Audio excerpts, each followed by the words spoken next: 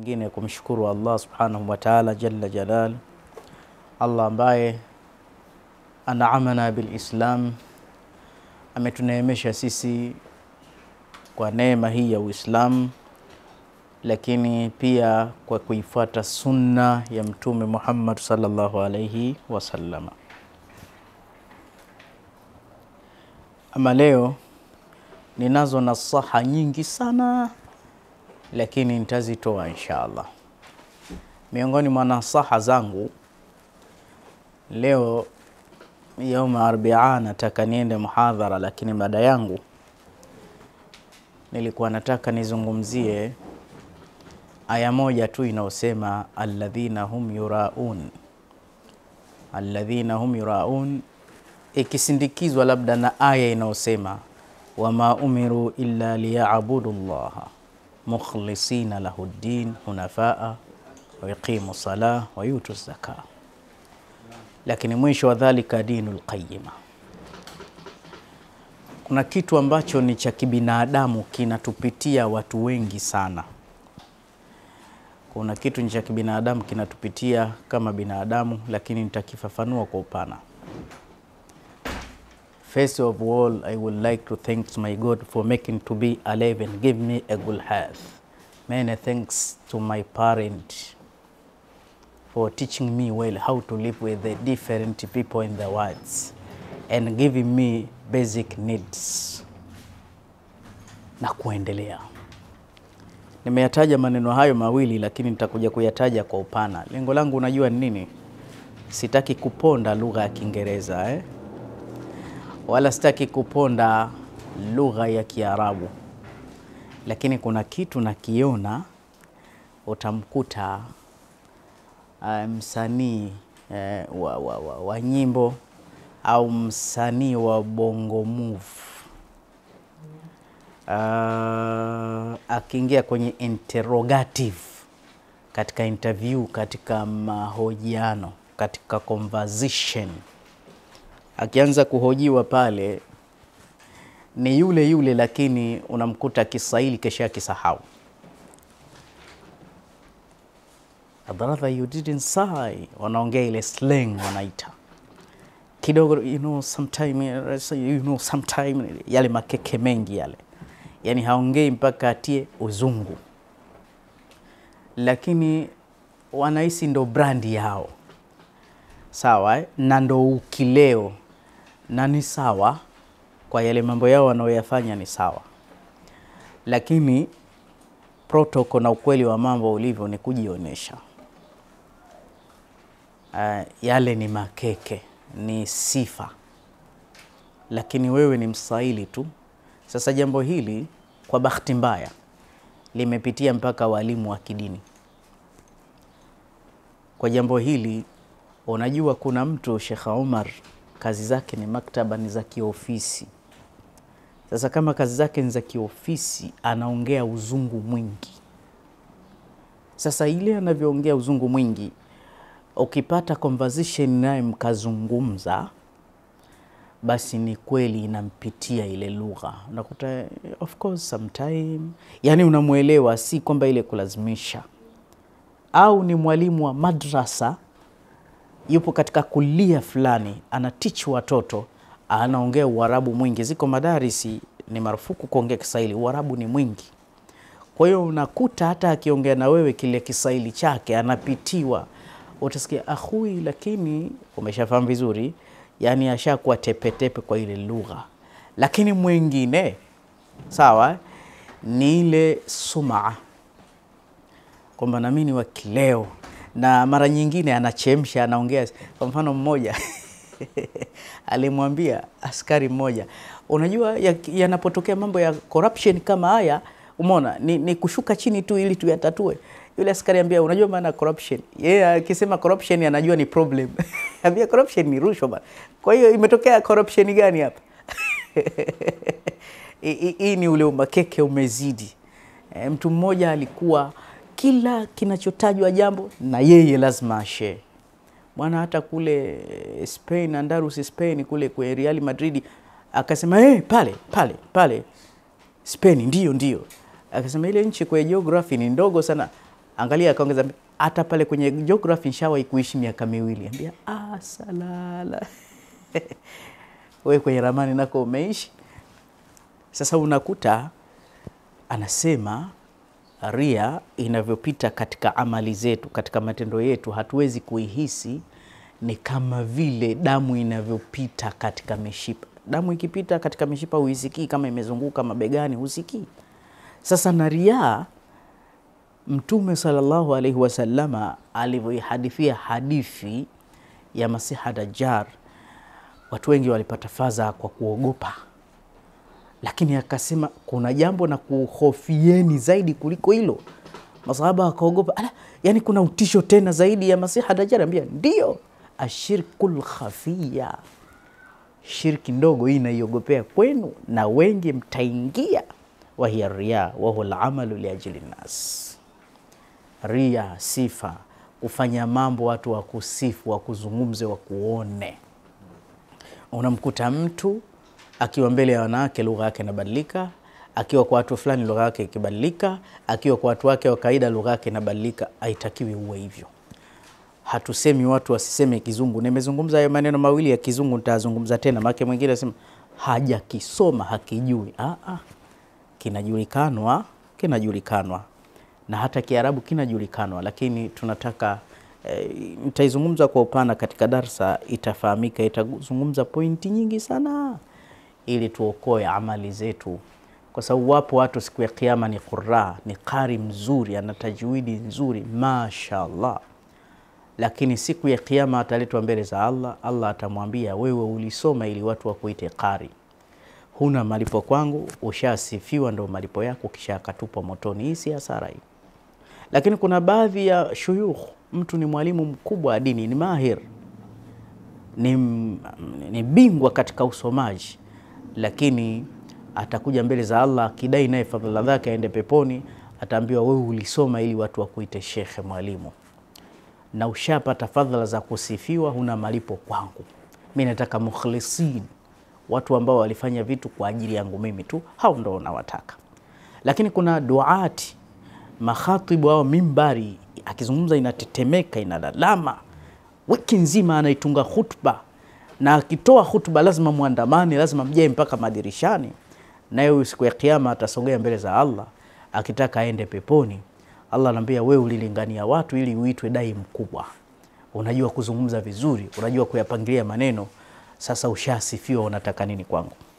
Huna malipo kwangu. Akachukuliwa akapelekwa motoni. Ikhlas, ikhlasi ni kitu muhimu sana. Ikhlasi, Sheikh Omar Sawa eh? Siku moja kuna mtu mmoja sawa eh? Alikuwa anaswali, watu wanafanya darsa kama hivi. Wakati wanafanya darsa wanaswali, wanaswali. Sasa akaingia, watu wanafanya darsa, kaja katikati hapa kwa mudarris, akafunga swala, Allahu akbar, afu shingo yake kaipeleka pembeni kinyonge, bismillahi arrahman. Ah, mudarris amenyama Alipotoa salamu sasa, assalamu alaikum warahmatullah, kama roboti, assalamu alaikum warahmatullah. Ule mudarisi akaambia, shekhe, hebu tufundishe na sisi tutaswalije kwa ikhlasi kama wewe. Akaambia, kabla sija kufundisheni hizo rakaa mbili hizo za suna tu, bado faradhi. Sasa nkiswali, yani nkisali utaona hiyo ikhlasi yake hatari kweli. Haya mambo sio kuna ikhlas na istikhlas. Na ikhlas ya hakika hata Ibilisi hawezi kuiona wala kuiharibu, wala malaika haijui hii ni ikhlasi. Baki kuna baadhi ya watu pia huwaambia watu hakufanya kwa ajili ya Mungu. Haya mambo ya ikhlasi yanayojua Mungu pekee.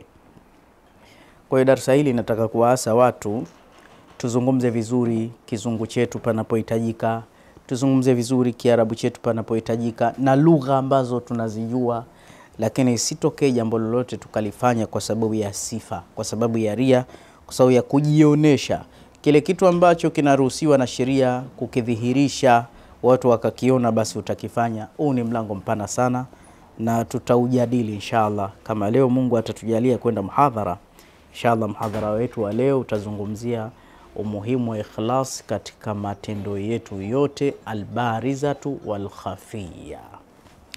Ama leo sina maneno mengi, nimekuleteni mbele yenu dawa za husda na dawa za uchawi na dawa za majini na dawa za kinga kinga za miili dhidi ya mambo ya kichawichawi. Basi khalas, na kukuambieni kwamba watu inapaswa wafanyiwe visomo, watu wafanyiwe dua, waombewe Mungu, wasomewe Qurani na watu ambao ni wabobezi katika fani hizi za tiba.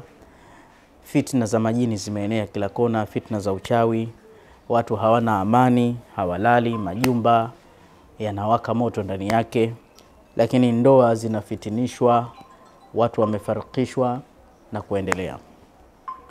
Lakini sambamba wa yote hayo, pia hizi husda zinaturudisha nyuma. Mbele yetu kuna baadhi ya dawa ambazo zinatibu hasadi.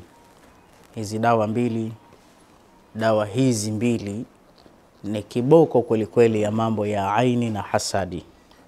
Ukizijumlisha zikiwa tatu, zinasaidia kuondosha mambo ya majini. Yule mtu anayepayuka, hii ni robo dozi yake. Mtu anayepayuka payuka majini, kupoteza poteza mimba na kadhalika, basi hizi dawa zinamsaidia sana. Ukiziongeza hizi dawa zikawa nne, ni tiba ya majini mahaba, yale majini yanaokuja usiku usiku kwa ajili ya ishu ya tendo la ndoa, basi mtu zikiwa nne hivi, hii ni tiba sana kwake. Lakini pia kuna dawa kwa sababu ya kinga ya nyumbani, hii inaitwa wiqayat. Majumba ambayo hayana utulivu au sehemu za biashara, macho haya hayaachi kutizama, basi miti hii inasaidia sana. Kwa hiyo unaweza ukapata dawa tano hapa, umetibu mwili, umetibu mahaba, umeondosha nuksi, lakini umeikinga nyumba yako.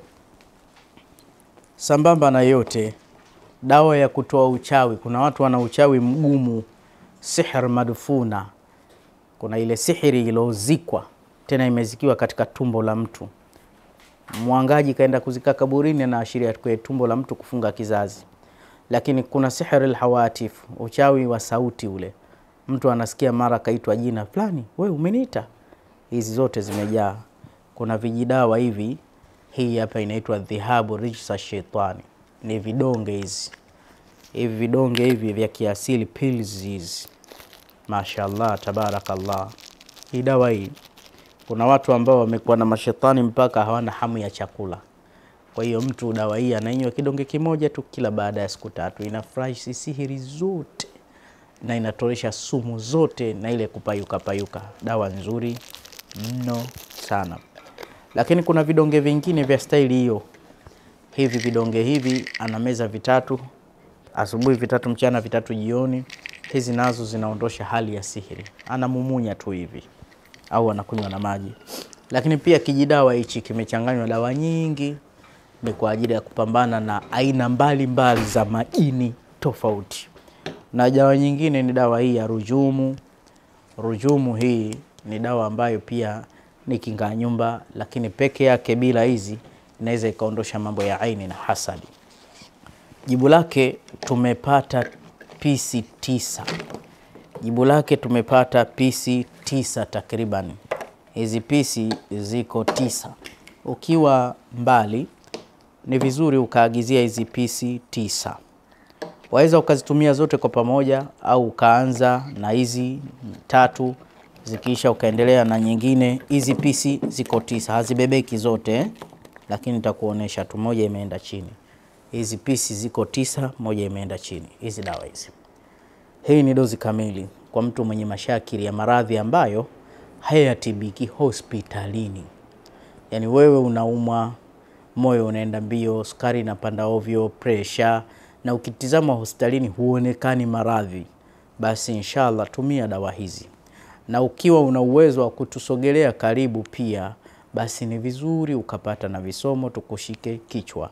Lakini pia kama uko mbali na huna mashakiri yoyote, usisubiri akakupata mashaka, waweza ukazitumia, hakuna ziada mbovu, ukaweka matumizi kama ya kinga ya uchawi mwilini mwako usisubiri mpaka akuroge. Wakikuroga wanaweza akakuroga vibaya, lakini walillahi alhamdu, ukadumu na adhkari na dua mbalimbali, ukatumia na hizi dawa, insha Allah Mwenyezi Mungu anaweza akakusaidia. Na kuogaoga haya madawa ndio yanaosababisha uendelee kudumu kazini kwenye cheo chako, ndio yanayosababisha usitimuliwe kazini. Fitna zimejaa kila pahala. Ukitaka kuruka gana na nyonga, usisubiri mpaka washakutimua. Na wachawi mia pia nao hawajalala, kila siku wana vituko vyao. Ni vizuri tukakaa kwa tahadhari. Hizi ndo tunguli zetu za kisheria hizi, lakini mbali ya hivyo majini pia nao tunapishana nao mara kwa mara, na siku hizi wamecharuka kama nini, wanatoka baharini humo wanakuja kuingia katika majumba yetu e, na sisi tunazaa, tuna vitoto vidogo ambavyo havijui hata kujikinga. Basi ni vizuri ukanunua mafuta mafuta yako kama haya ukawa unapaka watoto, wala si ushamba, wala sio kienyeji, wala si mambo ya kizamani. Na kama unaiona ya kizamani, basi old is gold, cha zamani ndo cha thamani. Baada ya kuyasema hayo, nichukue fursa hii kukushukuruni kwa muda wenu ambao mtachukua kutizama video hii. Usisahau kushare na kukomenti naam na kumpa mwingine. Lakini sambamba na yote hayo, sisi tupo nchi ya Tanzania, wala si mbali, Dar es Salaam, Buguruni, Rozana. Popote tunaweza tukakuletea msaada huu inshallah, ukakusaidia. Wajazakumullahu khair, wassalamu alaikum warahmatullahi wabarakatuh.